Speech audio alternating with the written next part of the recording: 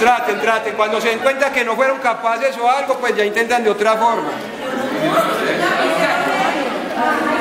Eh, sí, si se les cayó el lapicero lo pueden recoger mágicamente con las manos. No se puede levantar esto. Sí, sí, sí, lo pueden levantar.